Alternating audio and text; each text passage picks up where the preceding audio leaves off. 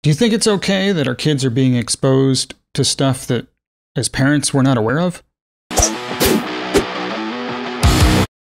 Welcome to my channel. I am Basic Blue. On this channel, I talk about politics and all kinds of stuff that other people don't seem to want to talk about, but for some reason, I just find it incredibly important to bring these topics up. In this video, we're going to be talking about is it okay uh, to have certain things in your school district that you know you might not be aware of, right? Uh, specifically, this is from Libs of TikTok. Oh, cue the cue the music. District votes to keep pornographic book available for children. Now, upon editing this video, I'm going to have to remember to blur out the images because, well, I think I can keep the image on the right. Technically, that's not pornographic, but the image on the left is definitely. Uh, it's a cartoon, but yeah, I'm just going to leave it at that. Salem Keizer School District in Oregon has been in hot water after parents discovered that a pornographic book, Gender Queer, was available in the school library. The school formed a special committee, headed by a woman named Suzanne West, to determine if the book should be removed. West's job description reads crafting and developing strategies that support the district's movement to become more anti racist and anti oppressive school system. Sounds good on the surface. Sure, let's keep going. The committee voted last week to keep the book, which we'll get into. But first, take a look at some of the explicit content found in Genderqueer. I'm going to have to do a little edit point here because I'm going to have to scroll upwards and then I'll reapply the effect. So I'm going to try to describe as best as I can what is in each of these images while still maintaining a PG 13 rating, I think. I don't know. This is, yeah, it's probably more than that. Sorry. Uh, the one on the left is um, a particular sexual practice uh, between what appears to be two males, and one of them seems to be expressing disappointment that it doesn't feel quite as good as he thought it would. You know, like, oh, that's okay, just keep on doing it. The second one on the right seems to be indicating uh, that it's to probably not be very pleasant to wear a binder and that eventually you're you're to feel as though you're not comfortable in your skin, which implies top surgery, perhaps. that one in particular, I I I almost find more offensive than the other images, particularly because it's it's showing like a reptile, like a snake, shedding its skin.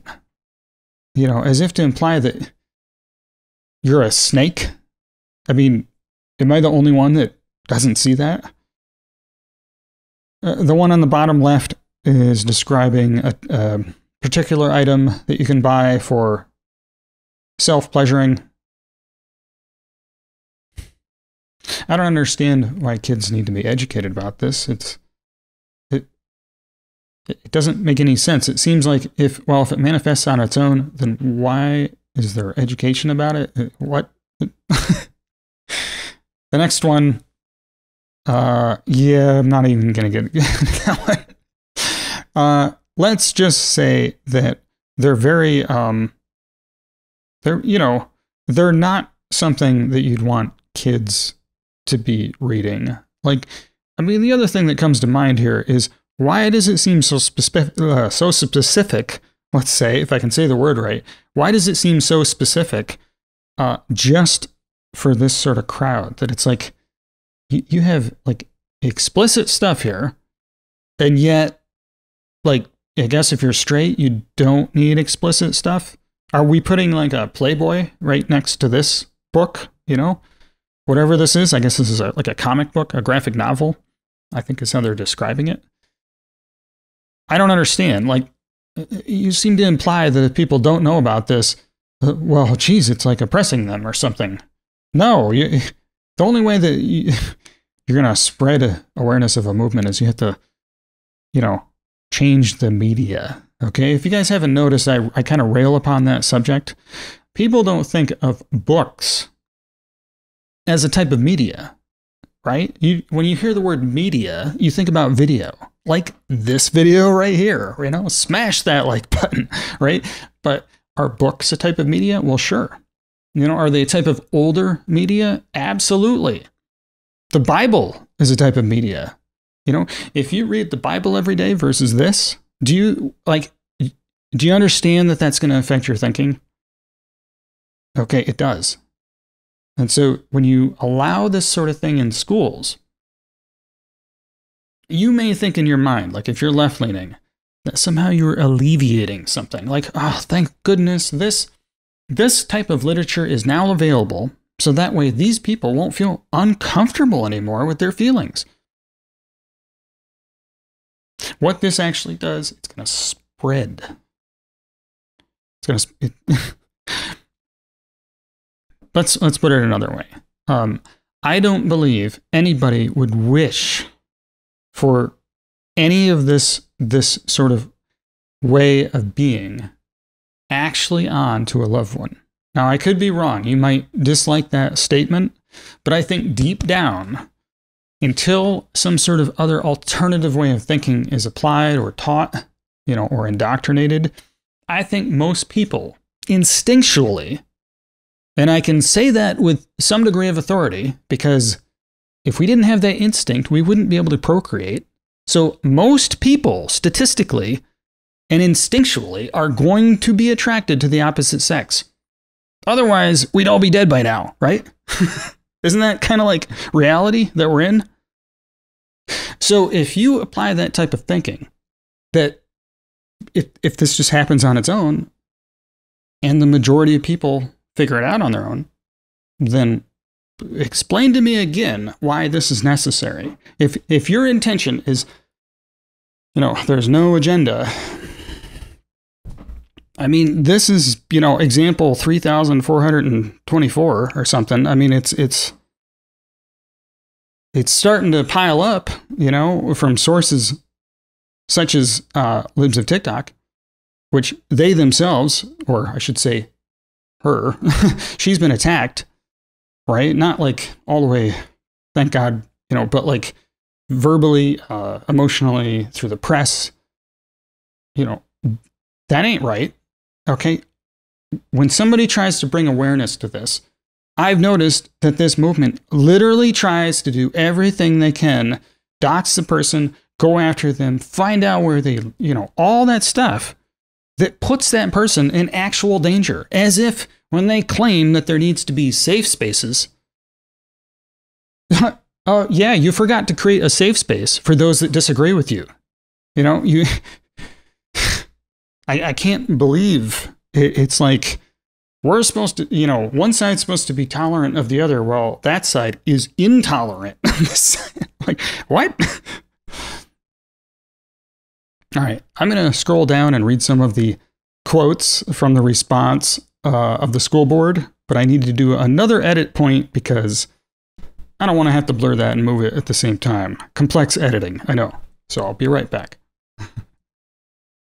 okay, so moving on. We'll get back to actual text. We don't need to rely on pictures anymore, even though a picture is worth, unfortunately, in that case, a thousand leftist words. It's no surprise that parents have been outraged at the committee's decision to keep this pornographic book available for their children. We obtained a copy of an email Suzanne West sent to one concerned parent. The email provided official statements from committee members regarding their decision, and they are so unbelievably insane you have to read them yourself. I'm going to read them book will be necessary to keep in schools to help be more inclusive and allow all students from the LGBTQ community to have a resource to refer to. In addition, the pages taken out of context do not represent the intention of the book and are only there to serve as an illustration to help provide understanding of what the author was trying to portray in their book. What? Is that not circular logic? Well, they're in there because that was the point that they're trying to make, and that's why they're in there. What? What? do you mean? What are you talking about? They're. yeah, this is where my my brain just kind of breaks apart a little bit, which is part of the intention. I know. Let's keep going. The book expands on sexual orientation and gender identity, which are both topics touched on in wellness. Uh, well, look, again, it, it seems like the elephant is in the room and you're saying, it's just a little, little puppy or something. I mean, you're, you're kind of, How is that like not uh, gross under exaggeration of what this is? The next one, it being a graphic novel makes the book more accessible to a variety of readers. I guess if you can't read, so like maybe even younger kids, I guess. I don't I don't know. Is it is how am I supposed to infer that? If you're not intelligent enough to read, you still need to know about your gender and your identity and your orientation and all still need to know how to get off, you know? That's what we need to focus on as a society. It's just all sex, sex, sex. Why is our morality failing? Gee, I don't know.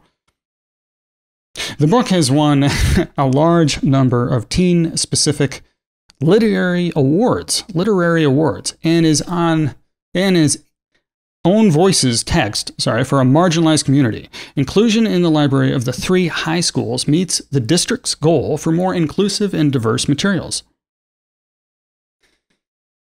So again, it, does that mean that little Johnny gets to have a Playboy?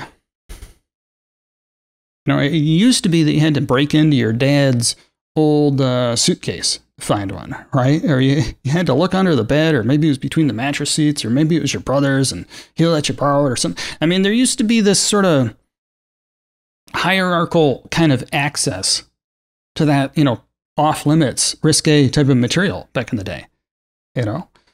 Nowadays, okay, nowadays, we have gone so far away from something that by today's standards is pretty tame to all the way like porn. In this case, I would say fairly graphic porn or something that is at least enough to. it's pretty unquestionable what it showed. Okay. And now we're just going to put it right there in front of the youth. I mean, I, it's like, it's blowing my mind a little bit. I'm going to try to keep on going. I'm sorry if I'm like, uh, uh, uh, but it, you know, I get fired up about it because I am a parent. I do not feel comfortable with that being put forth. Not, I mean, sure, is that in the state that, it, no, but look, overall, the movement seems to be pushing this. So, my concern. This graphic novel is very well done from a literary standpoint. It is an excellent example of a memoir. It includes many visual metaphors. It promotes literacy as does any book with words in it, and accessibility through the graphic format. Again, like, who is in these grades that this is in and then they can't read? It has modern language suitable to our students today. You notice the implication? Like, it's this is just, it's inevitable, so of course we have to have it there. Uh, no, it's not. It's not. That's why you're like getting videos like this. I am not the only one that feels like this. Look at the website I'm reading from. That's way bigger than my channel. They got tons and tons of people that happen to agree. Okay, so if you want to single me out, say, what is this guy on or whatever? No, okay, I'm common. All right, um, I'm, this is not uncommon to like react in this way. All right, last one: a well-written, illustrated text. Important insights, insight, sorry, regarding gender identity. So, what are we supposed to glean from this? You know, I think I, I guess it goes on a little bit more, but what are we supposed to infer if a movement such as this seems to put it so much in your face?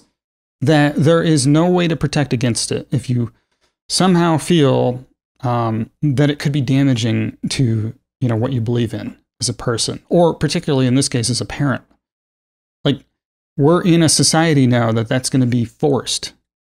It's not just like oh a little bit. It's like it reminds me of like when you're cooking a meal, right?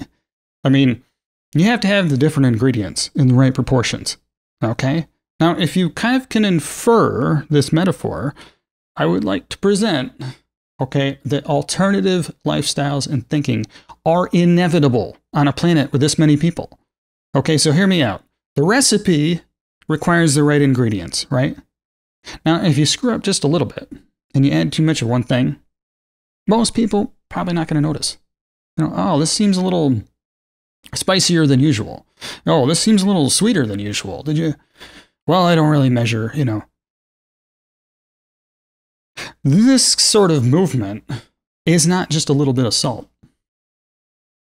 All right, this movement is like if you unscrewed the cap of the salt and that nice whatever meal, I don't care if you're vegan, vegetarian, you know, full on meat eater, and you just dump the whole salt right on there. All right, nobody's going to find that palatable over time. Uh, so if you find that your gut instinct is like, yeah, I, I guess I get it. What he's saying, follow your instincts. All right, like don't go against what we see around us is like reality. Okay, and notice that we don't need to twist it into something new for like a whole new generation and just kind of experiment on that. We don't need to do that. There's no reason to. Things were going fine for a long time. And just recently, it's like this spiraling kind of out of control thing. And so, yes, there is valid concern. If you want to call me right wing, whatever.